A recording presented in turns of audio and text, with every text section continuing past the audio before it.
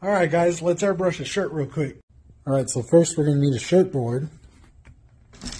Then we're going to need to put our shirt on our shirt board. Then you need to put some stencils on there, some Valentine design. So we're going to start with some purple. Then we're going to do a little turquoise.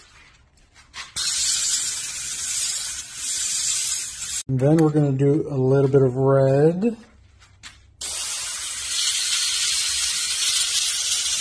And then we're going to use some black for the writing. Then we're going to use a little bit of white for some white highlights. And there you go, guys. There's the shirt. We'll take this over to the press and send it out. Hopefully you guys give that a like. We'll see you guys in the next one.